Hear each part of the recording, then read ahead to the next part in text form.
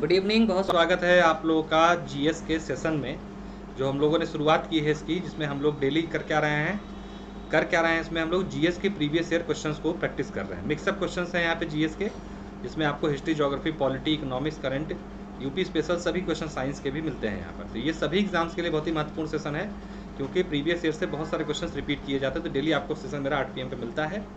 तो स्वागत है सभी लोग का India largest learning platform Unacademy में। और एक छोटे से परिचय के साथ सेशन की करेंगे शुरुआत। मेरा नाम प्रशांत शुक्ला है मैंने लोक प्रशासन से एमए किया है एल एल हूँ।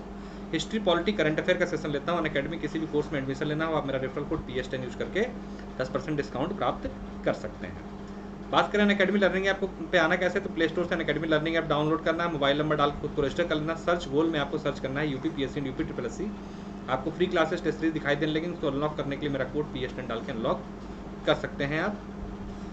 एडवांटेजेस की बात करें तो कभी भी कहीं भी recorded live session best educator से इन्फ्लुएंस होने का मौका बेस्ट कॉरेस्पॉन्डेंस कोर्सेज आपको मिलते हैं स्टडी सेशन मास्टर क्लासेस आपको मिलती हैं अनलिमिटेड क्विजेस मिलता है स्टडी मटेरियल पीडीएफ फॉर्मेट में multiple live doubt clearing session आपको यहाँ पर मिलते हैं।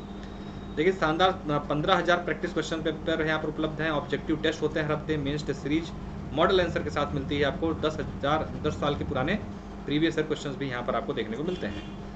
फ्री टेस्ट सीरीज़ सौर्य नाम की यूपीएसआई के लिए हम मंडे टू फ्राइडे आयोजित की जाए शाम को छः बजे। आप लोग इसको कर सकते हैं अनकेडमी ऐप पे जाके अनलॉक करने के लिए मेरा कोड पी एस यूज़ करके अनलॉक कर सकते हैं। मिशन खाकी नाम का बैच है, जो टेस्ट सीरीज़ यहाँ पर चलाई जा रही है यूपीएसआई के लिए। प्रॉपर टेस्ट सीरीज़ है, दो पी पे, हर संडे को आयोजित हो रही है ये। हर सौ सवालों की सीरीज़ होती है ये। ऑफ़र चल रहा है बारह महीने कोर्स पे, तीन एक्स्ट्रा महीने, चौबीस महीने कोर्स पे, चार एक्स्ट्रा मंथ का। पाँच अक्टूबर से करंट अफेयर का एक बैच शुरू हो रहा है, प्रज्ञा नामक बैच कोर्सेज में। अन्य की बात करें, देखिए, उन्नत नामक एक नया बैच एक अक्टूबर से शुरू हो चुका है आपका, जो कि क्रैश कोर्स है पूरी तरीके से लेखपाल के मेंस के लिए।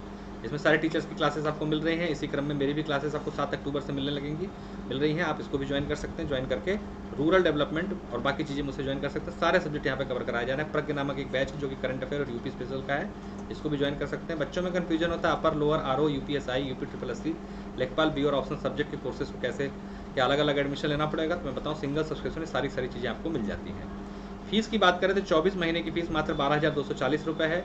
मंथली पाँच सौ दस रुपये महीने पे ले सकते हैं। बारह महीने की फ़ीस आपकी आठ हज़ार चार सौ पंद्रह रुपये है। मंथली सात सौ एक पेमेंट ले सकते हैं। छः महीने की फ़ीस आपकी छः हज़ार आठ सौ पचासी रुपये है। एक हज़ार एक सौ अड़तालीस रुपये मंथली पेमेंट ले सकते हैं। ऑफ़र के तहत यहाँ पर चार एक्स्ट्रा मंथ और यहाँ पर तीन एक्स्ट्रा मंथ का इस टाइम मिल रहा है। यहाँ पे दस परसेंट डिस्काउंट के लिए आपको मेरा code P S ten use करके दस परसेंट डिस्काउंट प्राप्त कर सकते हैं।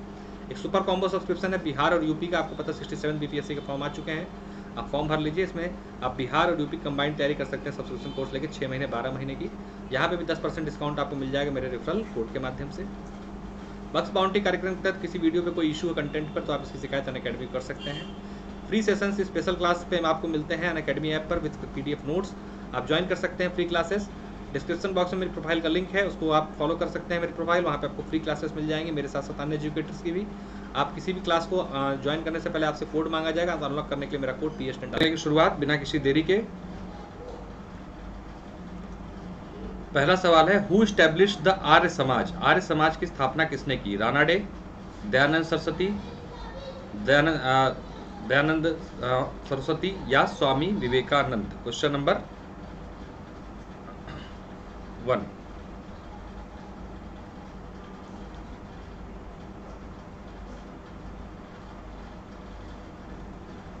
open check one का सी आर्य समाज की स्थापना किसने की है? दयानंद सरस्वती ने किसने की है? दयानंद सरस्वती ने सी है, ठीक है? देखिए, व्याख्या देखते हैं। आर्य समाज की स्थापना दयानंद सरस्वती द्वारा अठारह सॉरी अठारह सौ पचहत्तर में बंबई में की गई। इसके बाद इसका मुख्यालय जो है, लाहौर बनाया गया। इन्होंने वेदों की ओर लौटो नारा दिया। दयानंद सरस्वती को भारत का मार्टिन लूथर किंग भी कहा जाता है। इन्होंने बाल विवाह एवं छुआछूत, जाति प्रथा का विरोध किया तथा विधवा पुनर्विवाह एवं अंतर जातीय विवाह का समर्थन किया। आर्य समाज में भारत भारतीयों के लिए नारा दिया था इन्होंने, ठीक है? अगला सवाल है who among the following participated in the parliament religion held at Chicago in 1893 इसमें से किसने अठारह में शिकागो में आयोजित धर्म संसद में भाग लिया? Dayanand Saraswati, Swami Vivekanand, Mahatma Gandhi, Raja Ram, Mohan Roy. Question number two. आसान सवाल है। तो उत्तर सभी लोग का बी आ रहा है।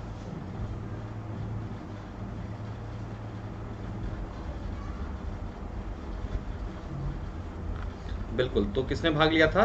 स्वामी विवेकानंद ने। कई बार हुआ सवाल एग्ज़ाम में है ये तो विश्व धर्म महासभा का आयोजन अठारह में शिकागो में हुआ था। ध्यान दीजिए कहाँ हुआ था? अठारह में शिकागो में हुआ था। इस धर्म संसद में भारत का प्रतिनिधित्व स्वामी विवेकानंद ने किया। इस सभा में विवेकानंद ने विश्व प्रसिद्ध भाषण दिया था। जिसमें उन्होंने कहा था कि मुझे गर्व है कि मैं एक ऐसे धर्म से हूँ, जिससे दुनिया को सहनशीलता का पाठ पढ़ाया। सिर्फ़ सार्वभौमिक सहनशीलता में ही विश्वास नहीं रखते, बल्कि हम विश्व के सभी धर्मों को सत्य के रूप में स्वीकार करते हैं। तो ये स्टेटमेंट जो है पूरा आ सकता है कभी एग्ज़ाम में तो स्टेटमेंट देख लीजिए किसका है ये? स्वामी विवेकानंद जी का है। Mohammad Qasim Nanautavi named is linked with Mohammad Qasim Nanautavi का नाम जुड़ा है अलीगढ़ आंदोलन से, देवबंद आंदोलन से, फरीदी आंदोलन से तय्युम आंदोलन से। Question number three Mohammad Qasim Nanautavi का नाम किस आंदोलन से जुड़ा हुआ है? क्वेश्चन नंबर थ्री अच्छा सवाल है। इंपॉर्टेंट है ये, पीसीएस 2017 में सवाल पूछा गया था। पीसीएस 2017 में क्वेश्चन आया था। आंसर है आपका sorry sorry sorry. B, Deoband आंदोलन। नैना तवी का नाम किससे जुड़ा हुआ है? देवबंद आंदोलन से। तो मोहम्मद कासिम नैना तवी एवं राशिद अहमद गगोई इनका भी नाम देख लीजिएगा। ये देवबंद सहारनपुर में है, उत्तर प्रदेश में। वहाँ पर देवबंद आंदोलन जो है अठारह से सड़सठ के मध्य जो है संचालित किया गया। था दो हज़ार सत्रह में जो क्वेश्चन पूछा गया था ईयर पूछा था उसका ना। Eighteen sixty six to eighteen sixty seven चलाया गया था। मुस्लिम संप्रदाय के लिए धार्मिक नेता तैयार करने, अंग्रेज़ी शिक्षा और पश्चिमी संस्कृति पर पाबंदी लगाने के उद्देश्य से ये आंदोलन जो है चलाया गया था। मेन उद्देश्य क्या था? अंग्रेज़ी शिक्षा और पश्चिमी संस्कृति पर प्रतिबंध लगाने के उद्देश्य से देवबंद आंदोलन की शुरुआत हुई थी। नैना तवी और गंगोई जो है से संबंधित थे। राजा राम मोहन राय के सामाजिक, धार्मिक विचारों का विरोध करने के लिए निम्नलिखित में से किसका प्रकाशन शुरू हुआ? In the order to oppose the socio religious ideas of Raja Ram Mohan Roy which amongst the following was published Herald Chandrika Oriental Star या जम ए जमशेद क्वेश्चन नंबर फोर अच्छा सवाल है। एक चीज़ का प्रकाशन एक पत्रिका का प्रकाशन किया था राजा राम मोहन राय के विचारों का विरोध करने के लिए। किस चीज़ का शुरू हुआ था? कौन सी पत्रिका प्रकाशित की, की जा रही थी संदर्भ में?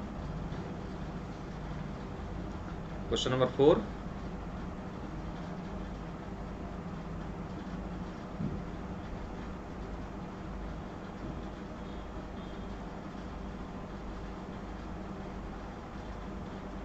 B with question mark है। और कोई क्वेश्चन नंबर फोर पे रिस्पॉन्स करने का प्रयास करें। अच्छा सवाल है। इंपॉर्टेंट क्वेश्चन है ये। बिल्कुल ठीक है उत्तर। आंसर है बी चंद्रिका। ध्यान दीजिएगा, चंद्रिका का प्रकाशन इस संदर्भ में किया गया था। व्याख्या देख लेते हैं।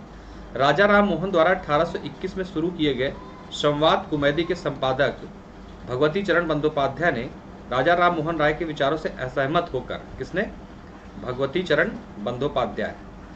किस लिए हुए थे असहमत? कि राजा राम मोहन राय ने 1921 में एक संवाद कुमैदी का सम, प्रकाशन किया था। उसके संपादक थे भगवती चरण बंदोपाध्याय। ने राजा राम के विचारों से असहमत होकर 1822 में समाचार चंद्रिका का प्रकाशन प्रारंभ किया। राजा राम मोहन राय के प्रगतिशील विचारों को तत्कालीन हिंदू रूढ़िवादियों ने विरोध किया। राधाकांत देव ने ब्रह्म समाज के सिद्धांतों का विरोध करने हेतु धर्म सभा की स्थापना का भी की थी। तो ये भी क्वेश्चन पूछा जा चुका है धर्म सभा किसने स्थापित की थी विरोध के लिए? धर्म राधाकांत देव ने की थी। और ध्यान दीजिएगा, चंद्रिका का प्रकाशन किया गया था इनके विचारों का विरोध करने के लिए। और अगर ये पूछ दे आगे बढ़कर एक सवाल थोड़ा सा कि चंद्रिका का प्रकाशन किसने किया था तो भगवती चरण बंदोपाध्याय, ठीक है? क्लियर 1830 में धर्म सभा की स्थापना निम्नलिखित में से किसने की? Who of the following founded the Dharma Sabha in 1830 Mrityunjay Vidyalankar, Dwarkanath Tagore, Debendranath Tagore, Radhakant देव देखिए, पिछले वाले सवाल के व्याख्या से ये सवाल निकल गया मैंने कहा था ना व्याख्या जो है बड़ी इंपॉर्टेंट होती है। तो व्याख्या को आप लोग जो है अच्छे से देखा करें भाई।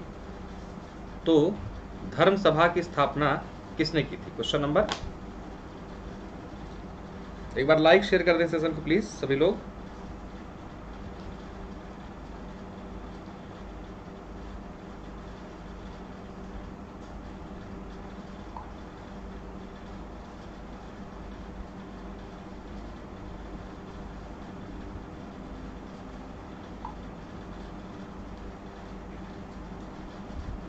नंबर फाइव पिछले सवाल की व्याख्या से निकल के आ जाएगा ये।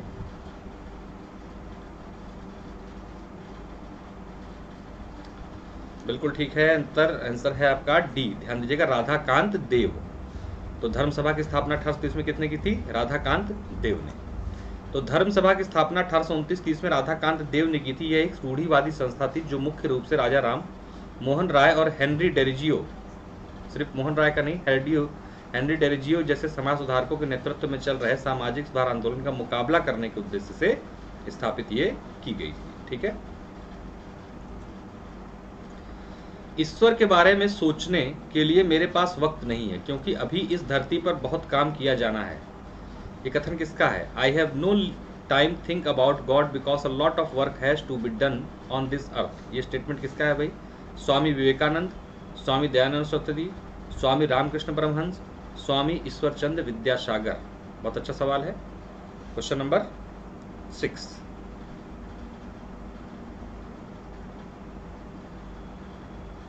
question number six अच्छा question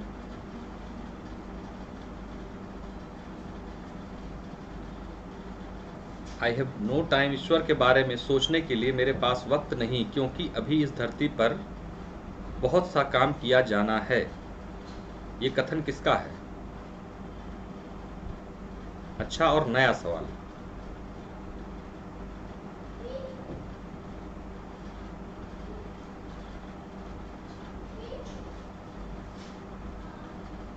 देखिए, ये स्टेटमेंट है आपका स्वामी ईश्वरचंद विद्यासागर का, ठीक है? सिक्स का आंसर डी देखिए ईश्वर चंद विद्यासागर उन्नीसवीं शताब्दी के बंगाल के प्रसिद्ध दार्शनिक, शिक्षाविद समाज सुधारक लेखक और परोपकारी व्यक्ति थे।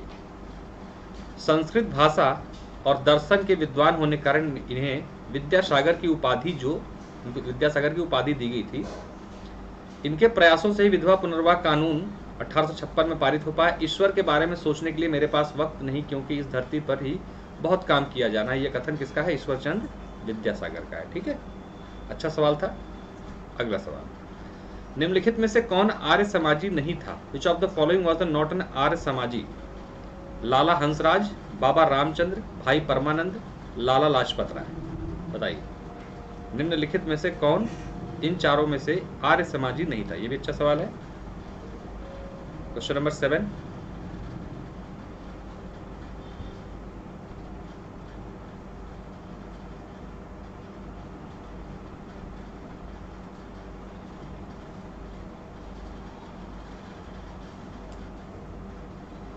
question number seven. Response करने का प्रयास करें।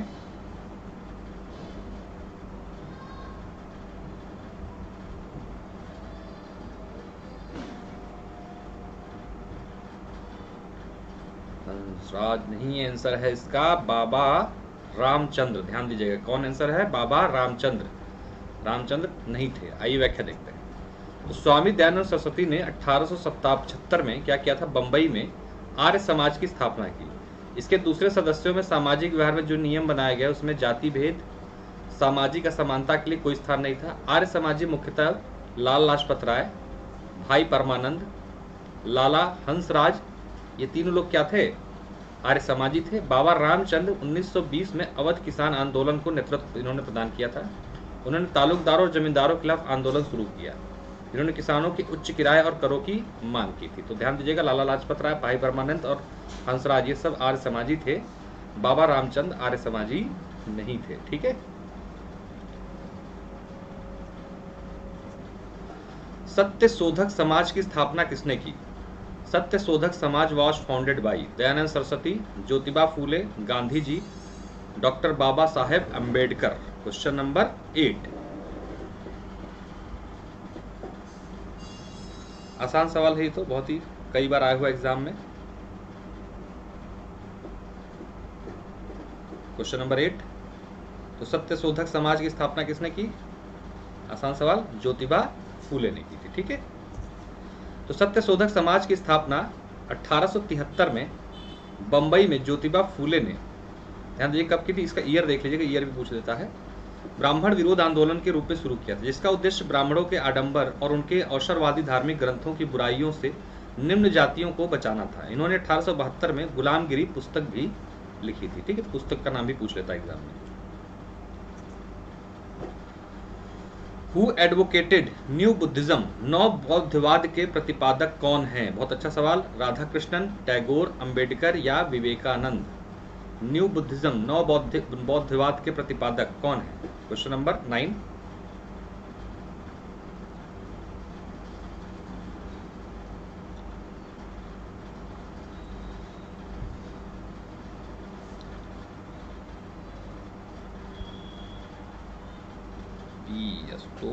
बताएँ।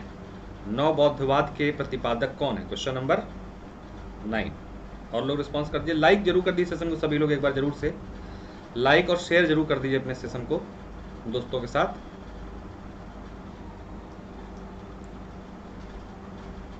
और कोई response question number nine C answer आ रहा आप लोगों का। बहुत अच्छा सवाल है, नया सवाल है ये। तो देखिए नव बौद्धवाद के प्रतिपादक थे अंबेडकर। कौन? Doctor B R Ambedkar. व्याख्या देखते हैं इसकी। नव बौद्धवाद बौद्ध धर्म का एक संप्रदाय है जो भारतीय नेता भीमराव अंबेडकर द्वारा निर्मित है। इस धर्म के सारे अनुयायी अंबेडकरवादी बौद्ध कहलाते हैं। कौन से बौद्ध कहलाते हैं? अंबेडकरवादी बौद्ध कहलाते हैं। इन बौद्धों को अंबेडकर द्वारा निर्धारित 22 प्रतिज्ञाओं का पालन अनिवार्य रूप से करना होता है। नव बौद्धवाद में जाति प्रथा, वर्ण भेद, लिंग भेद, अंधविश्वास आदि का कोई स्थान नहीं है। ठीक है? व्यवहारिक वेदांत के प्रतिपादक कौन है? Who who has advocated practical Vedanta Dayanand Raja Ram Mohan Roy Gandhi या विवेकानंद तो व्यवहारिक वेदांत के प्रतिपादक कौन है? क्वेश्चन नंबर टेन अच्छा सवाल है ये भी।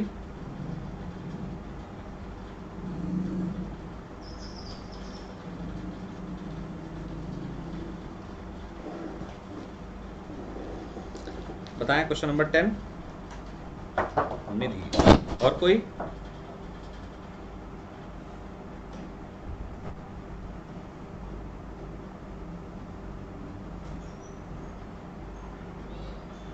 अच्छा सवाल है, जल्दी से रिस्पॉन्स करने को कोशिश सभी लोग करें। भाई, देखिए, ये सब एकदम नए सवाल हैं सब एग्ज़ाम में आएँगे तो गड़बड़ होने की संभावना पूरी रहती है ऐसे सवालों में। आंसर है टेन का डी ध्यान दीजिएगा, विवेकानंद। व्यवहारिक वेदांत के प्रतिपादक कौन थे? विवेकानंद माने जाते हैं, ठीक है? आइए व्याख्या देखते हैं। तो व्यवहारिक वेदांत, स्वामी विवेकानंद द्वारा लंदन में व्यवहारिक वेदांत पर दिए गए चार व्याख्यानों का संकलन है। ठीक है? जिसमें वेदांत का महिमा मंडन किया गया है। विवेकानंद ने अठारह में शिकागो में वैश्विक धर्म सम्मेलन में भारतीय वेदांत का को एक नया आकार दिया। वेदांत को शास्त्रों से निकालकर जन सामान्य तक ले जाने का श्रेय भी स्वामी विवेकानंद को दिया जाता है। ठीक है? तो व्यवहारिक यानी प्रैक्टिकल वेदांता विवेकानंद। निम्नलिखित में से फराजी आंदोलन के बारे में क्या सही नहीं है? Which of the following is not corrected about the Faraizi movement इसके संस्थापक सरियत उल्ला थे। इसमें इस्लाम के अनिवार्य तत्वों को पालन करने का समर्थन किया। इसने विभिन्न इस्लाम के संतों की समाधियों की पूजा की निंदा की। इसके नेताओं ने केवल फारसी और उर्दू में ही प्रचार किया। It was founder its founder was Shariatullah. It advocated the observance of the obligatory duties of Islam it condemned the worship at the shrines and various Islamic saints its leader priest in Persian and Urdu only question number eleven ये भी नया सवाल है। Question number eleven उत्तर देने का प्रयास करें सभी लोग। अच्छा सवाल है। फराजी आंदोलन के बारे में क्या सही नहीं है पूछा जा रहा है?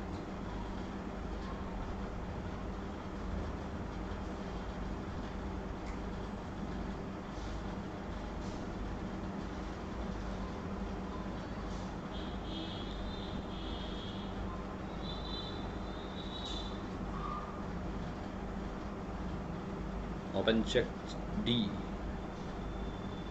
बिल्कुल देखिए, उत्तर है इसका डी ठीक, ये गलत है। बाकी सब सही है। इसके संस्थापक सरियत उल्ला थे। फराजी आंदोलन के संस्थापक कौन थे? शरीयत उल्ला। इसमें इस्लाम के अनिवार्य कर्तव्यों को पालन करने का समर्थन किया गया, बिल्कुल सही बात है। इसने विभिन्न इस्लाम के संतों की समाधियों की पूजा की, निंदा भी की थी। ये भी सही बात है। ठीक, व्याख्या देखते हैं। बंगाल के फरीदपुर। में हाजी सरियतुल्ला हाजी सरियतुल्ला ने फराजी आंदोलन की नींव रखी थी। किसने? हाजी सरियतुल्ला ने। कहाँ पर? बंगाल के फरीदपुर में। फराजियों ने इस्लाम के मान्य कर्तव्यों को मानते हुए ब्रिटिश शासन को उखाड़ फेंकने के लिए संघर्ष किया था। सरियतुल्ला एवं उसके पुत्र दादू मियाँ ने जमींदारों के शोषण के खिलाफ किसानों एवं जोतेदारों को संगठित करने का प्रयास किया। फराजी आंदोलन अठारह सौ अड़तीस से लेकर अठारह सौ सत्तावन तक चलता रहा। अंततः वहाबी आंदोलन से ये जुड़ गया, ठीक है?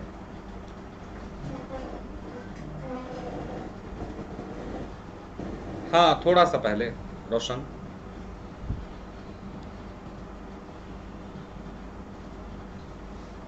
वारकरी संप्रदाय का की मुख्य पीठ अवस्थित है the main seat of Warkari seat is situated at Sringeri, Pandharpur, Nadia, Varanasi. बताइए वारकरी संप्रदाय की प्रमुख पीठ कहाँ अवस्थित है? Question number twelve.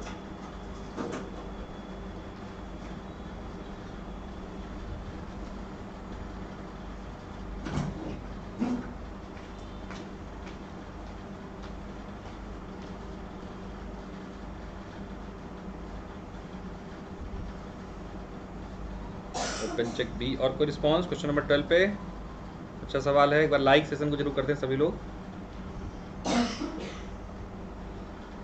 देखिए आंसर है इसका पंढरपुर।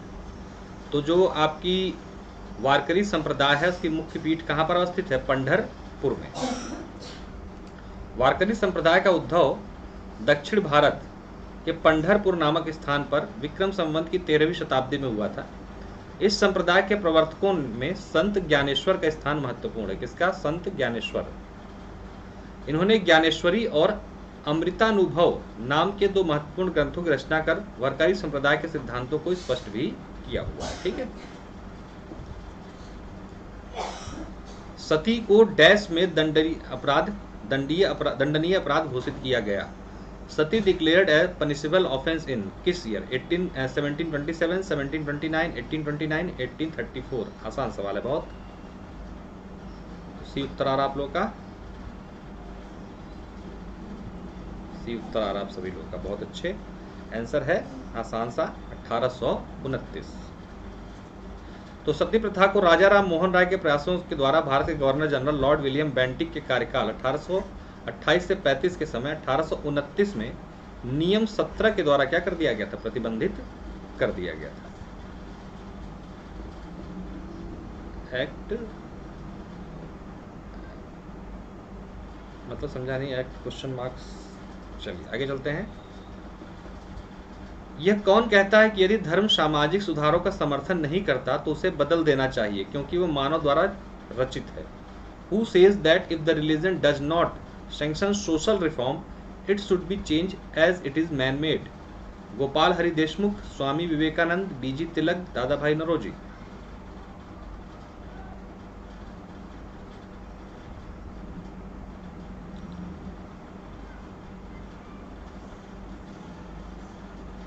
सी रहा और कोई? क्वेश्चन नंबर फोर्टीन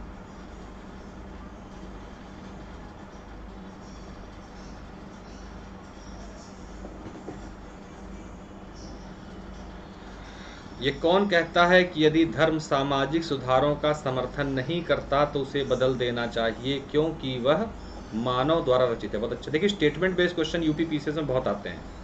आप लोगों ने देखा होगा पिछले सालों के पेपरों में, खासतौर से हिस्ट्री में स्टेटमेंट बेस्ड क्वेश्चन दो तो रहते ही रहते हैं। तो स्टेटमेंट बेस्ड वाले क्वेश्चनों पर हम लोग को ध्यान विशेष रूप से देना चाहिए। आंसर है, गोपाल हरि देशमुख। किसने दिया है स्टेटमेंट ये? गोपाल हरि देशमुख का। आइए व्याख्या देखते हैं।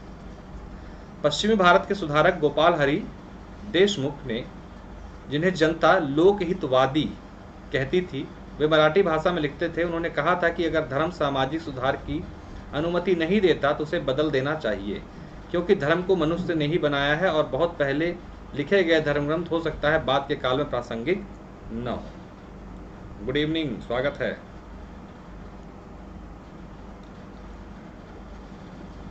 चलिए तो आंसर हुआ गोपाल हरि देशमुख। निम्नलिखित नेताओं में से किसने जनजातीय उत्थान हेतु कार्य किया है? Which of the following leader had work for tribal upliftment Mahatma Gandhi A V Thakkar, doctor B R Ambedkar Jagjivan Ram.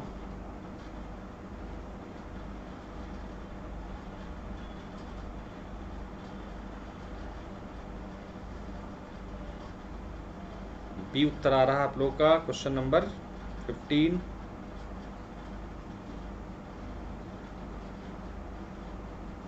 हाँ थोड़ा सा थोड़ा सा, बहुत ज़्यादा नहीं, थोड़ा सा। एक्चुअली मेरी क्लास छः बजे से है ना? प्लस वाली। तो उसकी वजह से क्लास छोटी रह जा रही है, इस वजह से। बाकी हो जाएगा एक दो दिन में। एक तारीख से सब सही हो जाएगा राइट टाइम हो जाएगा।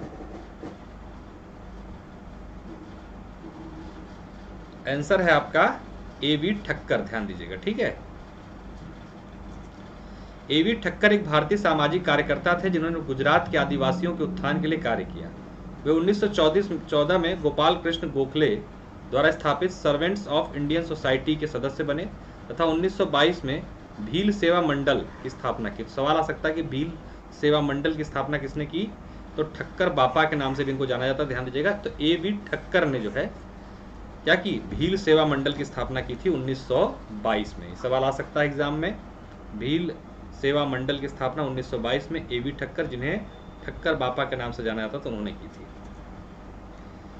19वीं 20वीं सदी को किस सामाजिक, धार्मिक आंदोलन ने गृह, गुहा रहस्यवाद प्रथाओं को अपनाया? Which socio religious movement of 19th 20th century adopted practice to be occult mysticism theosophical society Arya Samaj ने ब्रह्म समाज ने गुरुद्वारा सुधार आंदोलन ने।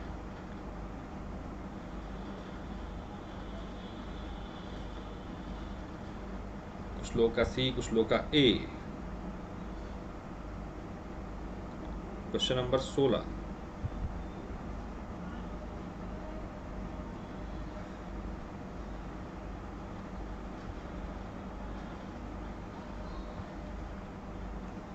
आंसर है आपका ए थियोसॉफिकल सोसाइटी ठीक है? थियोसॉफिकल सोसाइटी ने जो है गुहा रहस्यवाद की प्रथाओं को अपनाया था। ठीक है? देखते हैं व्याख्या। तो उन्नीसवीं सदी में थियोसॉफिकल सोसाइटी ने गुहा रहस्यवाद प्रथाओं को अपनाया। थियोसॉफिकल सोसाइटी की स्थापना एक रूसी महिला, ब्लावास्की और अमेरिकी सैनिक अफसर कर्नल ऑलकट ने 1875 में कहा की थी न्यूयॉर्क में की थी स्थापना इसकी और इसका अंतर्राष्ट्रीय मुख्यालय मद्रास के अड्यार में अठारह में स्थापित किया गया था। आयरिश महिला एनी बेसेंट 1888 में इस सोसाइटी की सदस्य बनी। तो ये भी सवाल पूछा जा चुका है एनी बेसेंट जो है कब इस सोसाइटी की सदस्य बनी तो अठारह में इसकी सदस्यता उन्होंने ग्रहण की थी, ठीक है? तो गुहा रहस्यवाद की प्रथाओं को अपनाया था थियोसोफिकल सोसाइटी ने। निम्नलिखित संगठनों में से किसने शुद्धि आंदोलन का समर्थन किया? Which among of the following organisation supported Shuddhi movement आसान सवाल है, आर्य समाज, ब्रह्म समाज, देव समाज या Prarthana Samaj? Question number seventeen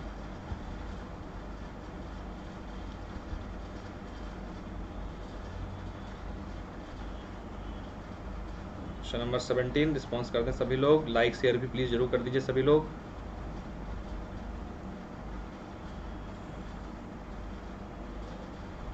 question number सत्रह, आसान सवाल। तो किसने की थी? आर्य समाज ने ठीक है? शुद्धि आंदोलन की स्थापना किसने के, समर्थन किसने किया था? आर्य समाज। आइए व्याख्या देखते हैं। तो आर्य समाज ने शुद्धि आंदोलन का समर्थन किया। आर्य समाज की स्थापना अठारह में, दयानंद सरस्वती ने बंबई में की थी। आगे चलकर आर्य समाज का मुख्यालय कहाँ हो गया था? लाहौर स्थापित हो गया था। जी ऋषभ सिंह। विधवा पुनर्विवाह अधिनियम, इनमें से कौन से गवर्नर जनरल के काल में पास हुआ? Widow remarriage act was pass during the governor generalship of Bentinck, Dalhousie, Canning, Lawrence. विधवा पुनर्विवाह किस गवर्नर जनरल के कार्य में पास हुआ था? Open check C question number 18 Ashutosh C okay बिल्कुल ध्यान दीजिएगा। सीओ का उत्तर, ठीक है? कैनिंग विधवा पुनर्वाह अधिनियम किसके काल में पारित हुआ था? कैनिंग के।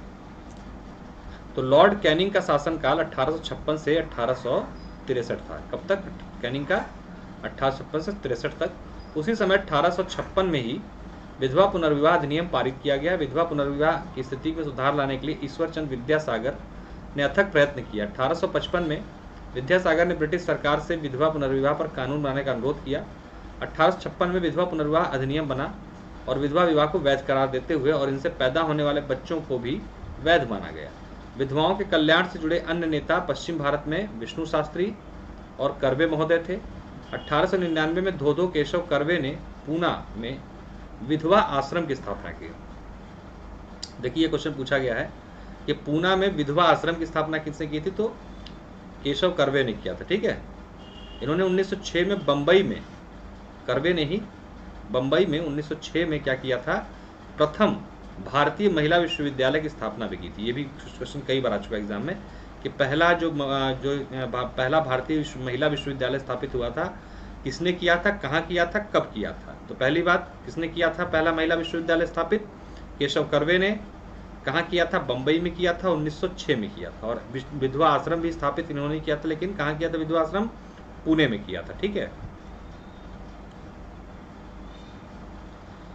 निम्नलिखित में से किसने बहुविवाह नामक पुस्तक लिखी है? Who among of the following wrote the book बहुविवाह? Raja Ram Mohan Roy, Ishwarchand Vidyasagar, Ramabai Rabindranath Tagore. बहुविवाह पुस्तक किसकी है?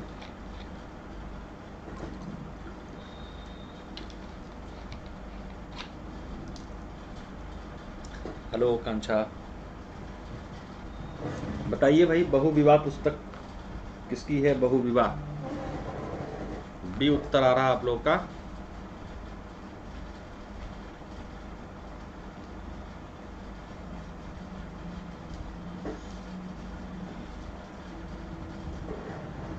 और कोई ऋषभ।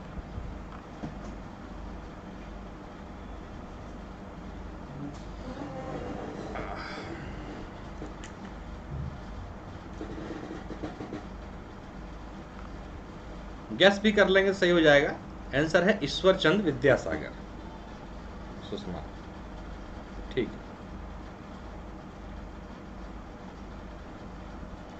चलिए, देखते हैं। बहु विवाह नामक पुस्तक की रचना का श्रेय ईश्वर चंद विद्यासागर को है। इन्हीं के प्रयासों से अठारह में विधवा पुनर्विवाह नियम पारित हुआ, जिसमें विधवाओं को पुनः विवाह की अनुमति प्रदान की गई। वे स्त्री शिक्षा के प्रबल समर्थक थे। उन्होंने अपनी पुस्तक बार्नो पोर्चियो, देख लीजिएगा इसका नाम, बार्नो पोर्चोए, पत्र से परिचय। ये भी एक बार पूछा जा चुका क्वेश्चन, बहुत पहले, कि पत्र से परिचय, जिसका नाम बंगाली में बोर्नो परिचय लिखा था इन्होंने, पत्र से परिचय बंगाली भाषा में परिष्कृत किया और इसे समाज के आम लोगों के लिए सुलभ बनाया। इन्होंने John Elliot Drinkwater Bethune के साथ मिलकर स्त्रियों की शिक्षा के लिए बैथून कॉलेज की स्थापना भी की थी और अन्य स्कूलों की स्थापना की थी, ठीक है?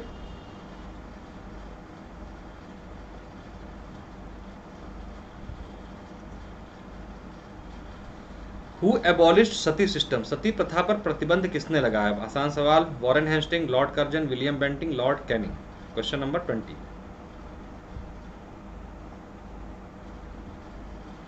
बहुत ही हलवा सवाल है ये तो।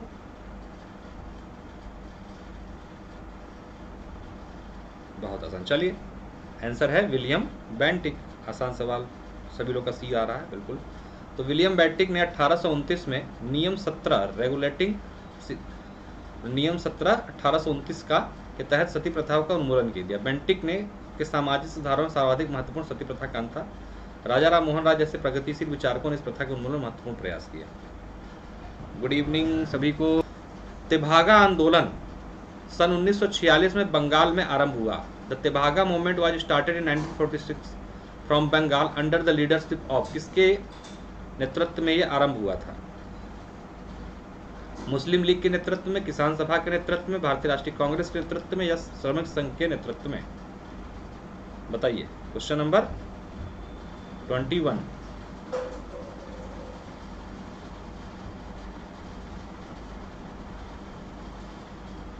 twenty one का बी उत्तर सभी लोग का आ रहा है। और लोग रिस्पॉन्स करते हैं। लाइक भी ज़रूर करते सेशन को।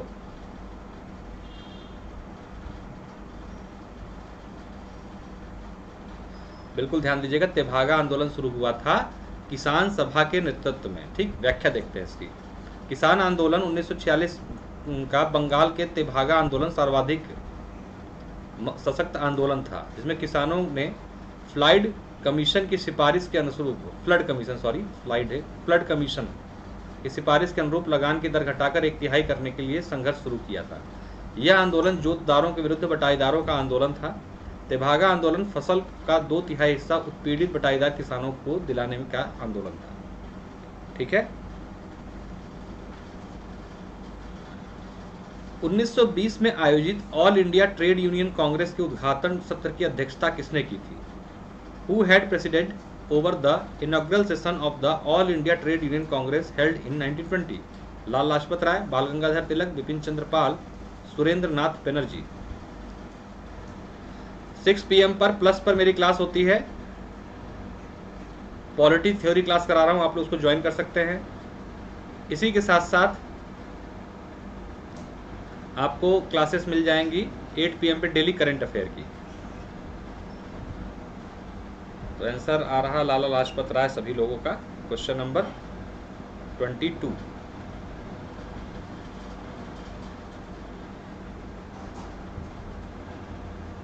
आंसर है बिल्कुल ए सही आपका लाला लाजपत राय।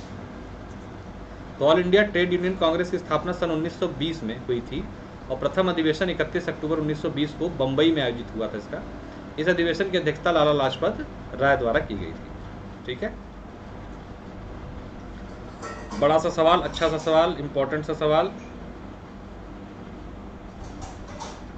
निम्नलिखित में से किस कारण से भारत में 20वीं शताब्दी के आरंभ में नील की खेती का हाश हुआ? Indigo cultivation in India declined by the beginning of the twenty century because of नील के उत्पादक, उत्पादकों के अत्याचारी आचरण के प्रति काश्तकारों का विरोध peasant resistance to the conduct of planters नई खोज के कारण विश्व बाज़ार में इसका लाभकारी होना, नील की खेती के राष्ट्रीय नेताओं द्वारा विरोध किया जाना या उत्पादकों के ऊपर सरकार का नियंत्रण?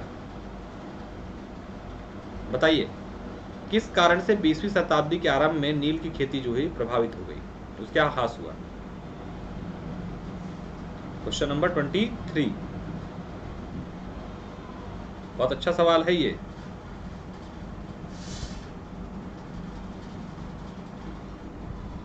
ए बी सी डी सब आ गया।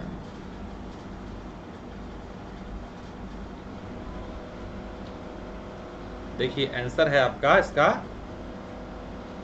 बी है। बी सही कर लेना। नई खोजों के कारण विश्व बाज़ार में इसका अलाभकारी होना। Its unprofitability in the world market because of new invention नए रासायनिक रंगों की खोज कर ली गई थी, इसकी वजह से ऐसा हुआ था। देखिए ब्लू गोल्ड ब्लू गोल्ड की उपमा से प्रसिद्ध नील, जिसे 19वीं शताब्दी के अंत में जर्मनी के रासायनिक रंगों ने नील बाज़ार को लगभग लगभग समाप्त कर दिया। नील की खेती 19वीं शताब्दी में अपने चरम पर थी। इसकी उत्पादकता का अंदाज़ा इससे ही लगता था कि वर्ष अठारह सौ छप्पन में भारत में लगभग उन्नीस टन नील का उत्पादन होता था। वही औद्योगिक क्रांति के बाद 1914 में घटकर 1100 टन रह गया था, जिस कारण चंपारण में यूरोपीय निलहे अपने कारखाने बंद करने के लिए बाध्य हुए। इसी कारण किसान के तीन कठिया प्रणाली एवं नील की खेती से मुक्ति चाहते थे। कालांतर में इसी पृष्ठभूमि में गांधी जी ने चंपारण सत्याग्रह का भी आरंभ किया था। तो जर्मनी में क्या हुआ था? नए रासायनिक रंगों की खोज हो गई थी और उसके कारण इसका जो मामला था खत्म हो गया, ठीक है? ये ऐसे ही समझिए कि 5G आ गया तो अब क्या कोई 2G का सिम लेगा या 2G कनेक्शन लेता है? नहीं। अब सब 5G जैसे पहले सीडी हुआ करती थी, उसके बाद पेन ड्राइव आई, अब पेन ड्राइव भी खत्म हो गया, अब ड्राइव आ गई गूगल ड्राइव है ना? इसी तरीके से evolution who was taluqdar? Taluqdar कौन थे?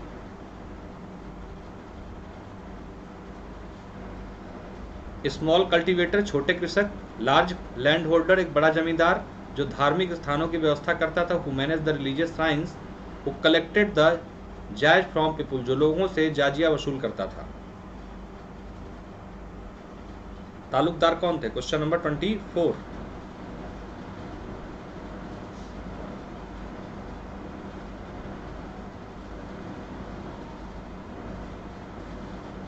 उत्तर बी आ रहा है मैक्सिमम लोगों का भाई। आंसर बी ही है इसका। एक बड़ा जमींदार, ध्यान दीजिएगा, तालुकदार कौन था? एक बड़ा जमींदार। व्याख्या देखते हैं। तालुकदार कुलीन वर्ग थे, जो मुगल शासन और ब्रिटिश शासन के दौरान बड़े भूमि के मालिक होते थे। ये वंशागत था। तालुकदार को करों का इकट्ठा करने की ज़िम्मेदारी प्रदान की गई थी और ये बड़े जमींदार हुआ करते थे, ठीक है? बी उत्तर सही है।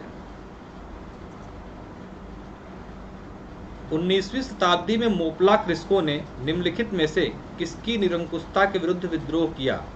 In 19th century Moplah peasants revolted against the tyranny of which of the following Muslim शासक, ब्रिटिश शासक, हिंदू जमींदार या हैदराबाद का निज़ाम? मोपला क्रिस्को ने जो किसके खिलाफ विद्रोह किया था?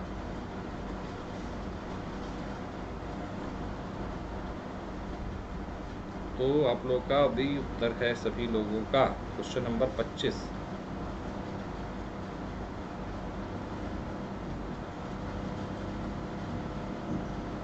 आइए व्याख्या देखते हैं। पहले तब आंसर देखिएगा ना।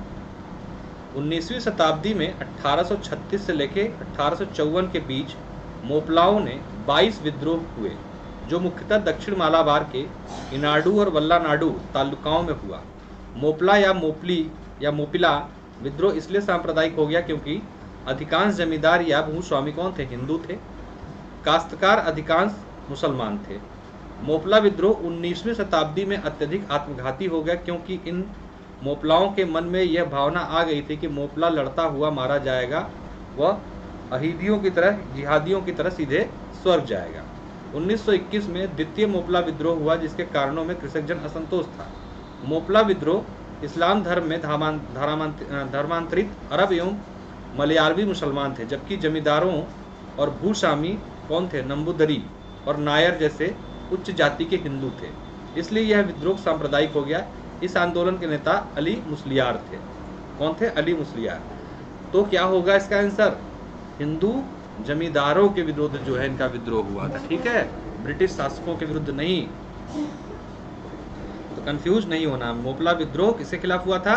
हिंदू जमींदारों के खिलाफ।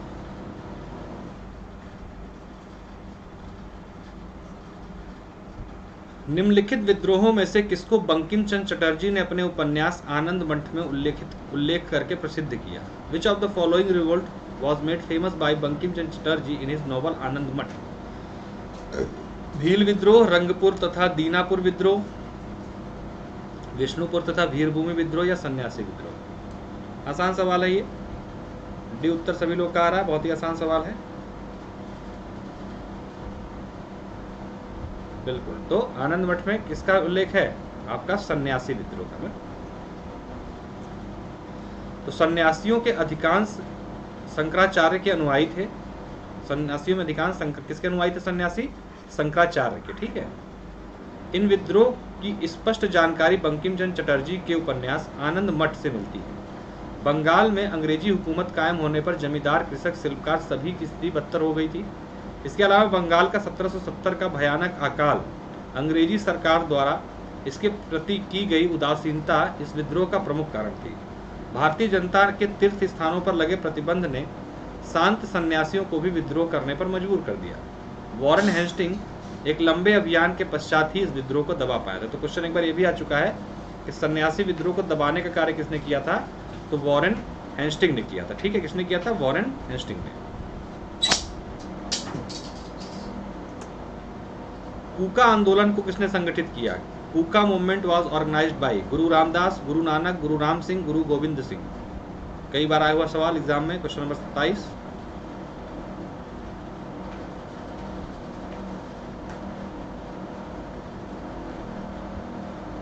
क्वेश्चन नंबर सत्ताईस।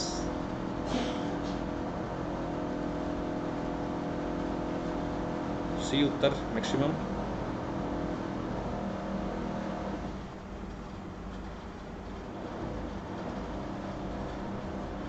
आंसर है गुरु राम सिंह। बुका आंदोलन को संगठित करने वाले थे कौन? गुरु राम सिंह। कूका आंदोलन, जो पंजाब में 1840 से लेकर बहत्तर, कहाँ पर हुआ था कूका आंदोलन? पंजाब में। फैला था मुख्यतः किसान आंदोलन था अठारह में। बालक सिंह बालक सिंह की मृत्यु के पश्चात उनके शिष्य राम सिंह कूका आंदोलन के नेता रहे। 1872 में आंदोलन के प्रमुख नेता राम सिंह को बर्मा रंगून निर्वासित कर दिया गया और अठारह में उनकी वहीं पर मृत्यु हो गई। एक बार ये भी सवाल आ चुका है कि राम सिंह को कहाँ पर निर्वासित किया गया था तो कहाँ पर? बर्मा, यानी कि रंगून में। बंगाल के तिभागा किसान आंदोलन की क्या मांग थी? The demand of the Tebhaga peasant movement in Bengal was जमींदारों की हिस्सेदारी को फ़सल के आधे भाग से कम करके एक तिहाई करना, भूमि का वास्तविक खेतीहर होने के नाते भू स्वामित्व कृषकों को प्रदान करना, जमींदारी प्रथा का उन्मूलन तथा कृषि दास्ता का अंत कृषकों के समस्त ऋणों को रद्द करना। तो जो तिभागा आंदोलन था बंगाल का, उसकी मुख्य डिमांड क्या थी? ये पूछा जा रहा आपसे।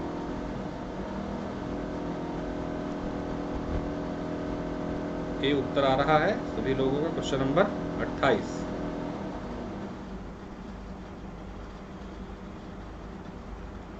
बिल्कुल। आंसर क्या है? ए, जमींदारों की हिस्सेदारी को फ़सल के आधे भाग से कम करके एक तिहाई करना जमींदारों को जो हिस्सेदारी दी जाती थी फ़सल में, वो पहले आधी दी जाती थी। इसको बात इनका आंदोलन था कि इसको एक तिहाई किया जाए। The reduction of the share of the landlord from the one half to the crop of one third ठीक है? तो तेभागा आंदोलन वर्ष 1946 में चलाया गया। यह बंगाल का सर्वाधिक सशक्त आंदोलन था। इस आंदोलन द्वारा बटाईदारों ने यह मांग की थी कि उनकी उपज का तिभागा, अर्थात एक तिहाई भाग जमींदारों को प्रदान किया जाए और दो तिहाई भाग बटाईदारों को मिलना चाहिए। यह जोतदारों के विरुद्ध बटाईदारों का आंदोलन था। देखिए, एक बार सवाल इस तरीके से भी आ चुका है कि जोतदारों के विरुद्ध बटाईदारों का आंदोलन किस नाम से जाना जाता है? तो तिभागा आंदोलन के नाम से जाना था, जिसका ईयर 1946 बेसिकली कहा था बंगाल में, जिसे कंपाराम सिंह कंपाराम सिंह और भवन सिंह, नाम इन, इनके नेताओं के अपना नेतृत्व प्रदान किया था। तेभागा आंदोलन को अयोध्या सिंह के शब्दों में तेभागा आंदोलन ने हिंदू, मुसलमान और आदिवासी किसानों की संग्रामी एकता कायम की। अंततः 1950 में कांग्रेस सरकार ने वर्ग, वर्गाधार विधेयक पारित कर आंदोलनकारियों की मांगों को क्या कर दिया? पूरा कर दिया।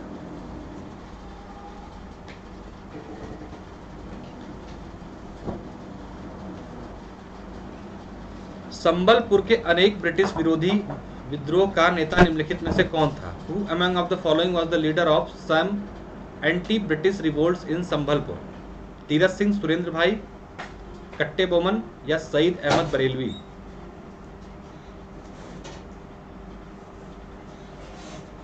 Twenty nine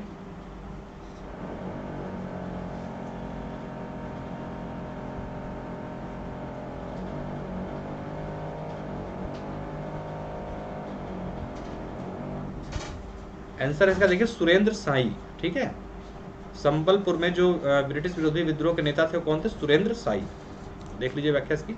उड़ीसा के संबलपुर में आंतरिक मामलों में अंग्रेज़ी सरकार द्वारा किए गए हस्तक्षेप के कारण वहाँ के नेता सुरेंद्र साई। कहाँ संबंधित थे? उड़ीसा के संबलपुर से।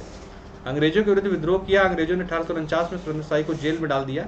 जेल से छूटने के बाद सुरेंद्र साई अंग्रेज़ों के विरुद्ध पुनः सक्रिय हुए और अठारह सौ सत्तावन में विद्रोह में अंग्रेज़ों के खिलाफ गुरिल्ला युद्ध भी लड़ा। सन अठारह में अंग्रेज़ों ने सुरेंद्र साई को आजीवन कारावास की सजा दी। फलस्वरूप अट्ठाईस फरवरी अठारह को सुरेंद्र साई को जेल में ही मृत्यु हो गई। सरदार तीरथ सिंह अठारह में खासी आदिवासी के नेता थे। निम्नलिखित में से कौन सा स्थान गड़करी विद्रोह का केंद्र था? बिहार शरीफ, कोल्हापुर, सूरत या Sylhet? Which of the following place was the centre of the Gadkari rebellion बहुत आसान सवाल है, कई बार आ चुका एग्ज़ाम में।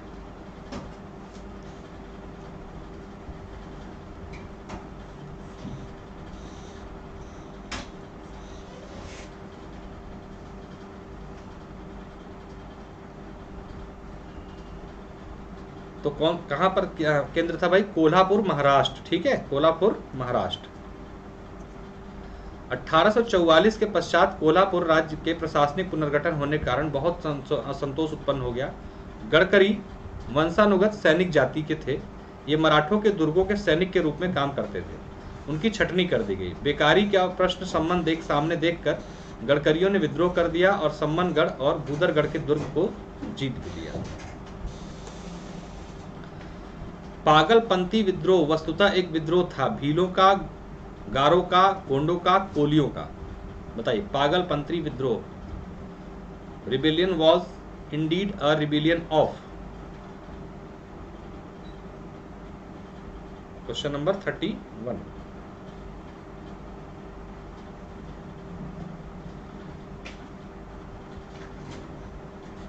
तो बी और ए उत्तर आ रहे हैं। पागलपंथी विद्रोह बी अधिकतर। देखिए व्याख्या। पागलपंथी विद्रोह जो था, पागलपंथी विद्रोह करमशाह द्वारा चलाया गया एक अर्ध धार्मिक प्रकृति का विद्रोह था, जो सत्य, समानता और भाईचारे के सिद्धांत के समर्थन हेतु था। करमशाह का पुत्र तथा उत्तराधिकारी टीपू मीर धार्मिक और राजनीतिक उद्देश्यों से प्रेरित था। उसने जमींदारों के द्वारा दिए गए अत्याचारों के विरुद्ध होकर विद्रोह कर दिया। 1825 में टीपू ने शेरपुर पर अधिकार कर लिया और वहाँ का स्वतंत्र शासक बन गया। उसने प्रशासनिक समस्या के एक न्यायाधीश और जिलाधिकारी की नियुक्ति भी की। विद्रोहियों ने गारो की पहाड़ियों तक उपद्रव किए और ये क्षेत्र में लगभग 1850 तक जो है उपद्रवग्रस्त ये क्षेत्र बना रहा है। तो गारो, ठीक? कहाँ का था? गारो का ये, ठीक है?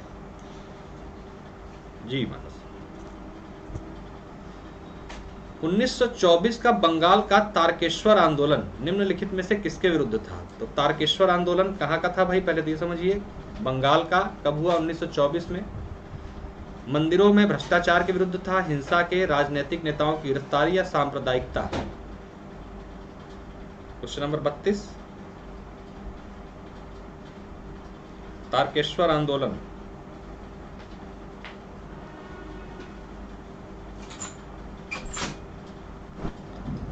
ए मैक्सिमम लोग उत्तर आ रहा है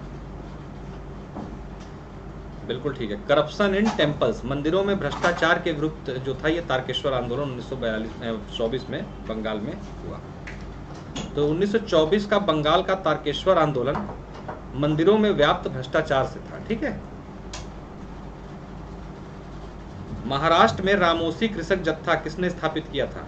हु फाउंडेड रामोसी कृषक जत्था इन महाराष्ट्र न्यायमूर्ति रानाडे गोपाल कृष्ण गोखले वासुदेव बलवंत फड़के या ज्योतिबा फूले। महाराष्ट्र में रामोसी कृषक जत्था।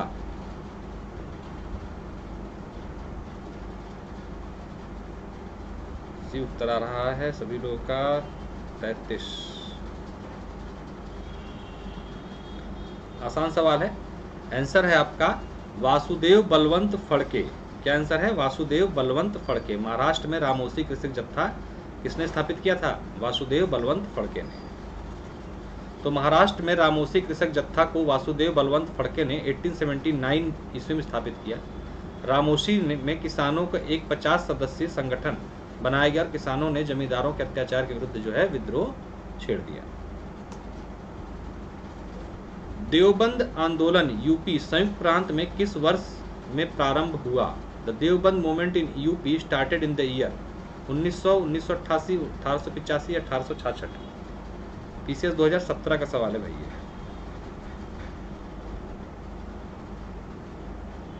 थर्टी फोर का उत्तर देने का प्रयास करें सभी लोग।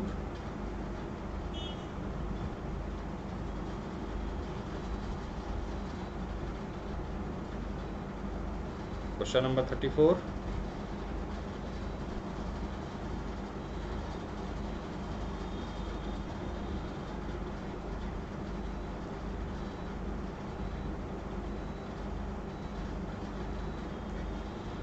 answer क्या है इसका? 1866 कहाँ पर है देवबंद ये उत्तर प्रदेश में? देवबंद जगह कहाँ पर है यूपी में? कहाँ पर है देवबंद उत्तर प्रदेश में भाई? देखिए व्याख्या इसकी, इसमें आ जाएगा आपका। सहारनपुर। कहाँ पर? सहारनपुर में, ठीक है? सहारनपुर सहारनपुर। मोहम्मद कासिम नैना तवी एवं रसीद अहमद गंगोई ने अठारह में उत्तर प्रदेश के देवबंद में इस्लामी मदरसे की स्थापना की। यह आंदोलन मूलतः मुस्लिम संप्रदाय के तहत अंग्रेज़ी शिक्षा पाश्चात्य संस्कृति के विरोध में चलाया गया था। भारत के स्वतंत्रता आंदोलन में इसका अस्वर्णीय योगदान है। ठीक है। 1921 का मोपला विद्रोह हुआ था। The Moplah revolt of 1921 took place in Telangana Vidarbha Malabar Malabar या महाराठ Marathwada?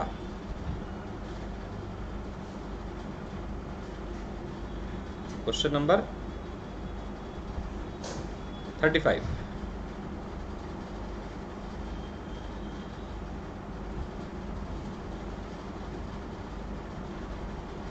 तो डेली 8 पीएम पे करंट अफेयर का सेशन होता है। डेली 8 पीएम पर अन अकेडमी ऐप पर डिस्क्रिप्शन बॉक्स में प्रोफ़ाइल लिंक है। ये उसके माध्यम से या डायरेक्ट आप अन अकेडमी ऐप पर जाके UP P S C UP triple S section में 8 पीएम वाली क्लास सर्च कर सकते हैं। अनलॉक करने के लिए मेरा code P S ten use करके क्लासेस अनलॉक करके क्लासेस ले सकते हैं। डेली एट पी एम पे ये सेशन आप लोग को मिलता है करंट अफेयर का। आंसर इसका मालाबार ठीक है? तो मोपला विद्रोह केरल के मालाबार क्षेत्र में 1921 में हुआ था। यहाँ पर काश्तकार अधिकतर बटाईदार मुसलमान थे और जमींदार अधिकतर हिंदू थे। आंदोलन जमींदारों के शोषण के खिलाफ जो है ये हुआ था, ठीक है? देखिए फ़ीस की अगर बात करें तो 24 महीने की जो फ़ीस है, वो बारह हज़ार दो सौ चालीस रुपए है, दो साल की। और यहाँ पर चार मंथ का एक्स्ट्रा सब्सक्रिप्शन अभी ऑफ़र के तहत मिल रहा है, पाँच सौ दस रुपये महीने में भी आप ले सकते हैं। बारह महीने की जो फ़ीस है, आठ हज़ार चार सौ पंद्रह रुपये है, सात सौ एक रुपये महीने के आधार पर भी इसको ले सकते हैं। यहाँ तीन मंथ का एक्स्ट्रा सब्सक्रिप्शन आपको फ्री मिल रहा है। और छः महीने का जो फ़ीस है छः हज़ार आठ सौ पचासी रुपये है। एक हज़ार एक सौ अड़तालीस रुपये के मंथली पेमेंट पे आप ले सकते हैं। दस परसेंट डिस्काउंट और बताए गए ऑफ़र को प्राप्त करने के लिए आप रेफरल कोड मेरा कोड पी एस डाल के ये ऑफ़र और इस फ़ीस में आप प्राप्त कर सकते हो। तो मेरा कोड डालते ही आपको दस परसेंट ऑफ़ मिल जाएगा फ़ीस में, ठीक है? टेन परसेंट ऑफ़ एक बिहार के लिए आपको पता है सिक्सटी सेवन बीपीएससी का नोटिफिकेशन आ चुका है, तीस तारीख से फॉर्म भरे जाएँगे। तो ऐसी दशा में आप बिहार के लिए और यूपी की कंबाइंड तैयारी छः महीने, बारह महीने, चौबीस महीने के तौर पर बिहार और यूपी के कॉम्बो सब्सक्रिप्शन के साथ कर सकते हैं। यहाँ पर आपको 10 परसेंट डिस्काउंट के लिए रेफरल कोड के रूप में मेरा कोड यूज़ करना है। पी एस टेन छः महीने की फ़ीस कितनी? सात हज़ार नौ सौ साठ। बारह महीने की फ़ीस दस हज़ार छः सौ बीस और चौबीस महीने की फ़ीस चौदह हज़ार छः सौ बीस रुपये तो इसमें फ़ीस में आपको क्या है कि बिहार और यूपी के कंप्लीट प्री मेंस दोनों की तैयारी जो है मिल जाएगी। तो अपने स्तर पे आप बारह महीने छः महीने, चौबीस महीने जो आपको उचित लगे उसकी लेकर तैयारी कर सकते हैं। बक्स बाउंड्री कार्यक्रम के तहत अन अकेडमी के किसी वीडियो किसी कंटेंट पे आपको कोई शिकायत आपत्ति है तो इसकी शिकायत आप अन अकेडमी कर सकते हैं। शिकायत सही पाए जाने पर आप लोग को उचित इनाम जो है दिया जाएगा। 8 पीएम पे डेली आप लोग को मिलता है करंट अफेयर का सेशन अन अकेडमी ऐप पर पूरी तरीके से फ्री सेशन होता है। अनलॉक करने के लिए आपको मेरा कोड पी डाल के अनलॉक कर लेना है उसको ये टेलीग्राम का चैनल है लेट्स क्रैक यूपी एग्ज़ाम इसको आप जो है सर्च करके टेलीग्राम पर ज्वाइन कर सकते हैं। वहाँ पे पीडीएफ नोट्स और क्लास के नोटिफिकेशन जो हैं, उपलब्ध कराए जाते हैं आप लोग को। तो इस चैनल को आप लोग ज़रूर ज्वाइन कर लें। चैनल सब्सक्राइब भी कर लीजिए यूट्यूब वाला। और लाइक शेयर भी ज़रूर कर दीजिए सभी लोग। लाइक शेयर सब्सक्राइब ज़रूर कर दीजिएगा। जिसने सब्सक्राइब ना किया तो ज़रूर कर ले और अन अकेडमी किसी भी कोर्स में एडमिशन लेना हो, आपको आपके किसी मित्र को, मेरा रेफरल कोड ज़रूर उनको रिफर कीजिए पी एस टेन डेली ये सेशन फाइव पी पड़ता है। आप इसको ज्वाइन कर सकते हैं फाइव पी एम पे सेशन को जी एस सेशन और इसी क्रम में आपको 8 पीएम पे मिलता है ऐप पर सेशन करंट अफेयर का। और साथ साथ 6 पीएम पे आपको सेशन मिलता है प्लस पर मेरा। प्लस पर आने के लिए आपको रेफरल कोड मेरा कोड पी यूज़ करना होगा, ठीक है?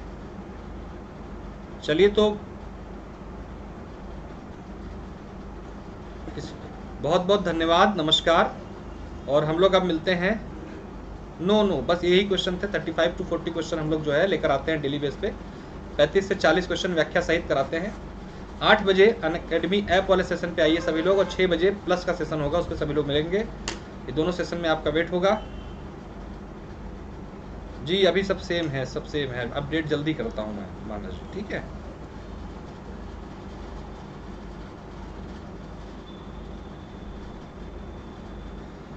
चलिए तो बहुत बहुत धन्यवाद, नमस्कार। मिलते हैं आठ बजे वाले करंट सेशन में करंट अफेयर के सेशन में, और छः बजे वाले आपके प्लस के सेशन में। बहुत